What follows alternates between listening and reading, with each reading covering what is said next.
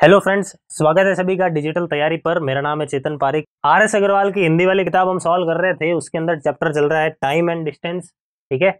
Part हम शुरू करेंगे पार्ट नंबर पाँच। चार पार्ट आ चुके हैं, बहुत ही अच्छे अच्छे सवाल उसके अंदर आए हैं। बिल्कुल बेसिक से सवाल शुरुआत हुए, फिर धीरे धीरे लेवल बढ़ते हुए चल रहा है। ठीक है तो अगर आपने वो नहीं देखे हैं, ज़रूर देखना। बहुत ही अच्छी अच्छी सी वहाँ पर ट्रिक्स आपको देखने को मिलेगी।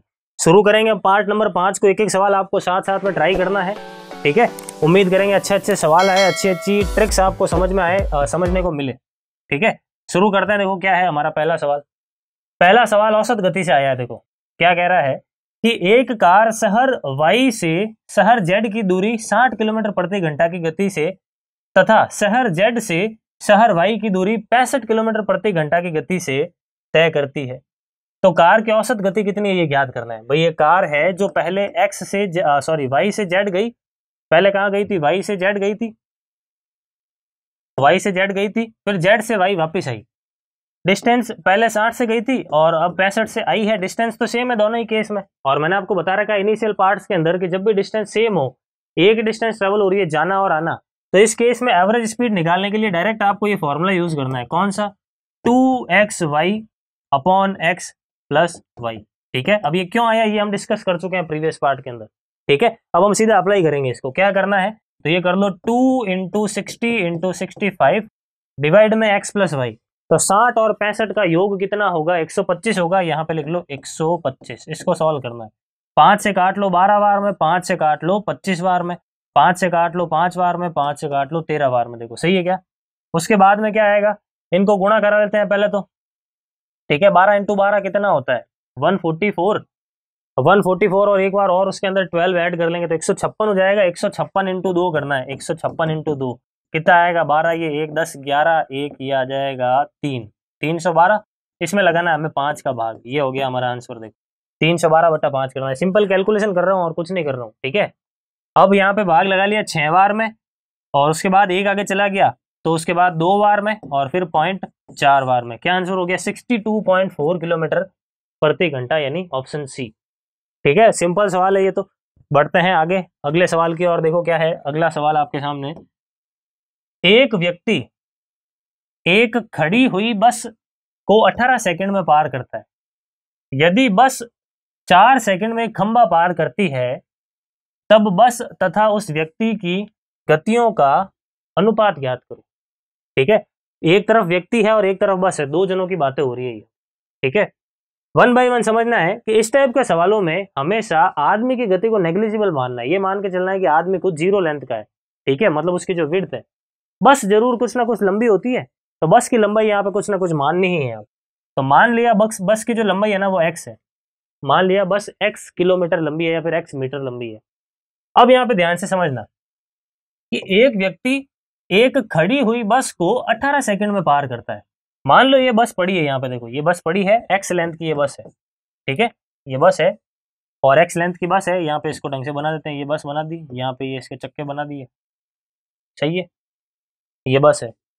अब यहाँ पे क्या हुआ कि एक आदमी है, ये आदमी दौड़ते दौड़ते या फिर अपने पास के कोई भी व्हीकल होगा, कुछ भी होगा, वो इसको पार कर रहा है।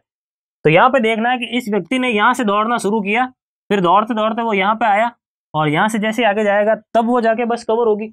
इसका मतलब क्या है कि जब उस व्यक्ति ने बस को पार किया, इसका मतलब उस व्यक्ति ने बस की लेंथ को पार किया। आई बात समझ में? इसका मतलब मैं अगर उस व्यक्ति की स्पीड निकालना चाहूँ, उस व्यक्ति की गति निकालना चाहूँ तो गति का फॉर्मूला क्या होता है? डिस्टेंस अपॉन टाइम होता है।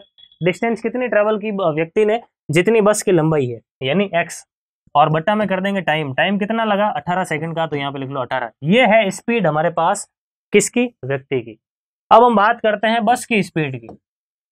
बस के बारे में क्या इंफॉर्मेशन दे रखी है तो आगे कह रहा है सवाल कि यदि बस चार सेकंड में खंबे को पार करती है, अब देखना यहाँ पे, इस बार अब ये आदमी हटा रहा हूँ यहाँ से, इस बार अब ये बस चल रही है, ठीक है, अब इस बार ये बस चल रही है, और यहाँ पे मान लो कहीं पे एक खंबा है, ठीक है, यहाँ पे कहीं पे खंबा है, इस खंबे को ये बस पार कर रही है तो ये मैंने टाइम एंड डिस्टेंस का इंग्लिश वाला वर्जन आपको जब करवाया था प्रॉब्लम्स ऑन ट्रेन के भी हमने सवाल किए थे, वहाँ पे अगर आपने वो देखा है, अगर इंग्लिश वर्जन आपने देखा है तो वहाँ पे ऐसे खूब सारे सवाल हमने किए थे कि जब भी कोई बस किसी खंबे को पार करती है, इसका मतलब खुद की लंबाई पार करती है, ठीक है? अगर वो नहीं देखा तो यहीं पे देख लो, भाई ये एक्स किलोमीटर की लेंथ है या फिर एक्स मीटर की लेंथ है, ये धीरे धीरे मान लो यहाँ पे आई मतलब इस बस का फ्रंट पोर्शन यहाँ तक आया। अब ये धीरे धीरे फ्रंट पोर्शन आगे जाएगा और तब तक जाएगा, तब तक कि बस का बैक पोर्शन इसको कवर ना कर ले। इसका मतलब बस ने कितनी डिस्टेंस ट्रेवल की? जितनी उसकी खुद की लंबाई है, आई बात समझ में? तो इसका मतलब बस ने भी एक्स तय किया है कितने समय में? चार सेकंड में। तो ये लिख लो चार सेकंड। ये आ गई हमारे पास बस की गति। ठीक है? अगर आप चाहते हो कि सर ऐसे और सवाल हमें करने हैं थोड़े से डिटेल में तो इंग्लिश वाले वर्जन के अंदर भी मैंने ये सेम चैप्टर करा रखा है। वहाँ पर आपको खूब सारे सवाल मिलेंगे, लेवल भी थोड़ा ज़्यादा है उन सवालों का। तो ये सब देखने के बाद में वो भी देखो ताकि आपकी अच्छी खासी तगड़ी प्रैक्टिस जाएगी। इंग्लिश लैंग्वेज की प्रॉब्लम आपको नहीं रखनी है, क्योंकि वहाँ पे हर सवाल में हिंदी में भी एक्सप्लेन करता हूँ साथ में। ठीक है? तो आपको आसानी से समझ में आ जाएगा। इसके अलावा प्रॉब्लम्स ऑन ट्रेन वाला टॉपिक भी करा रखा है, वो भी ज़रूर देखना। तो वहाँ से ट्रेन वाला जो कॉन्सेप्ट होता है ना कि भाई कब कौन सी लेंथ कवर होती है ब्रिज को पार करना प्लेटफॉर्म को पार करना तो वो सारी चीज़ें भी आपकी कवर हो जाएगी, ठीक है? अब यहाँ पे देखते हैं दोनों की गतियों का अनुपात निकालना है, बस का और उस आदमी का। तो बस की गति कितनी? एक्स बटा चार। आदमी की गति कितनी? एक्स बटा अठारह। इस रेशियो को सिंप्लीफाई करना है। एक्स एक्स तो काट लो, ठीक है? दोनों और मैं क्या करता हूँ? छत्तीस से गुणा कर देता हूँ। दोनों और मैं क्या कर देता हूँ? छत्तीस से गुणा कर देता हूँ ताकि ये जो फ्रैक्शन है ना, चार और अठारह, ये हट जाए। अठारह और चार कैल्शियम ले लो, कुल मिला के ये करना ठीक है? तो इसको काटा तो ये नौ बार में कट गया, इसको काटा तो ये दो बार में कट गया। तो क्या रेशियो निकल कर आया? नौ अनुपात दो निकल कर आया। इसका मतलब ऑप्शन ए क्या हो गया? हमारा करेक्ट आंसर ठीक है? बढ़ते हैं आगे हमारे अगले सवाल की और देखो क्या है? नेक्स्ट क्वेश्चन तो अगला सवाल है, देखो। दो शहर ए तथा बी एक दूसरे से 500 किलोमीटर की दूरी पर है। एक रेलगाड़ी प्रातः आठ बजे ए से बी की ओर सितर किलोमीटर प्रति घंटा की गति से चलना शुरू करती है। दस बजे एक अन्य रेलगाड़ी बी से ए की ओर 110 किलोमीटर प्रति घंटा की गति से चलना शुरू करती है। दोनों गाड़ियाँ आपस में कब मिलेंगी, ये आपको फाइंड करना है। बहुत ही इंपॉर्टेंट सवाल है। काफ़ी बार एग्ज़ाम के अंदर आते हैं। एसएससी के अंदर खूब बार आ चुका है ये सवाल। इस टाइप के सवाल। इसके अलावा रेलवे के अंदर भी आ रखा है और बैंकिंग के अंदर भी पहले आते थे इस टाइप के सवाल। ठीक है? अभी भी आ सकते हैं प्री लेवल में। अब इसको सॉल्व करना है यहाँ पे। तो ए और बी मान लो ये दो शहर है। ए और बी दो शहर है। ठीक है? 500 किलोमीटर दूरी पर है दोनों शहर, आपस में। ए से एक रेलगाड़ी रवाना हुई आठ बजे। आठ बजे रवाना हुई। ठीक है? एट ए एम और किस स्पीड से रवाना हुई? सितर किलोमीटर प्रति घंटा से रवाना हुई। ठीक है? उसके बाद दस बजे रवाना हुई एक दूसरी रेलगाड़ी, दस बजे सुबह दस बजे। बी से ए के लिए 110 किलोमीटर प्रति घंटा की रफ्तार से 110 किलोमीटर प्रति घंटा से इस तरफ़ रवाना हुई। ठीक है? अब यहाँ पर आप एक चीज़ देखोगे कि आठ बजे ये ट्रेन रवाना हुई है, और ये वाली ट्रेन थोड़ी लेट रवाना हुई है, दस बजे। तो जब ये ट्रेन रवाना होगी, दो घंटे बाद रवाना होगी ये तो इसके। तो दो घंटे में ये तो कुछ आगे आ चुकी होगी। भाई जब तक दस बजेंगे, तब तक तो ये ट्रेन तो थोड़ी चल चुकी होगी। है नहीं है? कितनी डिस्टेंस ट्रेवल कर लेगी दो घंटे में? तो जब तक दस बजेंगे, तब तक ये वाली ट्रेन 140 किलोमीटर तय कर चुकी होगी कर चुकी होगी, क्योंकि इसकी स्पीड कितनी है? सितर किलोमीटर प्रति घंटा, देखो, है या नहीं है? अब दस बजे है, ये ट्रेन यहाँ से रवाना होगी और ये वाली ट्रेन अभी यहाँ पे है, ठीक है? अब इनको दस बजे के बाद में वो यहाँ पे कहीं पे रास्ते में मिलेगी, इतने से रास्ते में वो कहीं पे मिलेगी, ठीक है? अब इतने से रास्ते में मिलना है, अगर टाइम फाइंड कर लेते हैं हम तो टाइम का फॉर्मूला क्या होता है? डिस्टेंस अपॉन स्पीड होता है। अब यहाँ पे डिस्टेंस और स्पीड दोनों रिलेटिव स्पीड और रिलेटिव डिस्टेंस काम में लेंगे। रिलेटिव डिस्टेंस का मतलब क्या है? दोनों के बीच में गैप कितना है? तो 500 में से 140 तो कवर हो ही चुका है। पीछे कितना गैप बचा? 340 का मतलब ये 340 कवर करना है। ठीक है? और ये 340 किलोमीटर सॉरी 360 ये 360 किलोमीटर का गैप कवर किया किसने? दोनों ट्रेन ने मिलकर किया है। देखो, दोनों ट्रेन ने मिलकर किया है। कहने का मतलब है यहाँ पे सापेक्ष गति हम यूज़ करेंगे ठीक है? तो ये सितर से इस तरफ़ आ रहा है एक सौ दस से इस तरफ़ आ रहा है अपोजिट डायरेक्शन होता है तो सापेक्ष गति कैसे निकालते हैं जोड़कर निकालते हैं। तो 110 और सितर कुल मिलाकर कितने हो गए? 180 यहाँ पे लिख लो 180 आ, 160 को 180 कितने बार में काट लेगा? दो बार में काट लेगा इसका मतलब दो घंटे बाद वो मिल जाएगी। मतलब 10 बजने के दो घंटे बाद वो दोनों गाड़ी आपस में मिल जाएगी। तो 10 बजे के बाद में दो घंटे और इसका मतलब क्या हो गया? दोपहर के बारह बज गए। ठीक है? तो हमारा ऑप्शन बी क्या हो गया? करेक्ट आंसर हो गया। ठीक है? आई होप अच्छी तरीके से आपको सारे सवाल समझ में आ रहे हैं और एक एक सवाल आप ट्राई ज़रूर कर रहे हैं। ठीक है? अगर आप ट्राई नहीं करोगे तो कोई भी फ़ायदा नहीं मिलने वाला। अगर आप मस्ती से बैठ के देख रहे हो उसको, पिलंग के ऊपर बैठ के टीवी मूवी देखते हो, वैसे कुछ फ़ायदा नहीं होने वाला। पेन कॉपी लेके एक एक सवाल रगड़ोगे तो ये दिमाग में फिट होने शुरू होंगे सवाल। ठीक है? अब समझते हैं, अगला सवाल क्या है? आई होप ट्राई कर लिया है आपने। एक कार कुछ दूरी साढ़े चार घंटे में तय कर सकती है, ठीक है? यदि इसकी गति पाँच किलोमीटर प्रति घंटा बढ़ा दी जाए तो वही दूरी तय करने में आधा घंटा कम लगेगा। तो कार की धीमी गति कितनी है, ये आपको ज्ञात करनी है। समझ में आ गया सवाल? सिंपल सी लैंग्वेज में लिखा है। क्या करना है यहाँ पे? कि एक कार कुछ दूरी को साढ़े चार घंटे में तय कर लेती है। कितने देर में तय कर लेती है? साढ़े चार घंटे में तय कर लेती है, ठीक है? लेकिन अगर आप उसकी गति पाँच किलोमीटर प्रति घंटा बढ़ा देते हो तो उसको आधा घंटा कम लगेगा।